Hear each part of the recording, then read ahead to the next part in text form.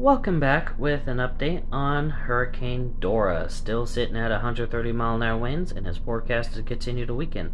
30, 125 overnight, 120, 115, one maintain that strength for a little bit, weakening further to 110 as it passes by Johnston Atoll, maintaining that strength a little bit.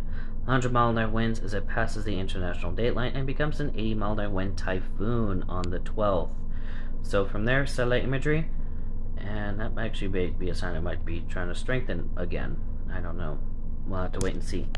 Anyway, satellite imagery, cone, models, and wind. So, yeah. Once it passes this line, it becomes a typhoon. And it definitely forecast to do so. Um, models, same thing. That 180 becomes a typhoon and it's definitely forecast to last long past that. This is going to be basically Hurricane Typhoon John 2.0, but I think this might have a bit of a Freddy twist and make it all the way to the Asian coast. But that's yet to be determined. So with that, that's about it. Stay safe out there. See you in the next video. Bye.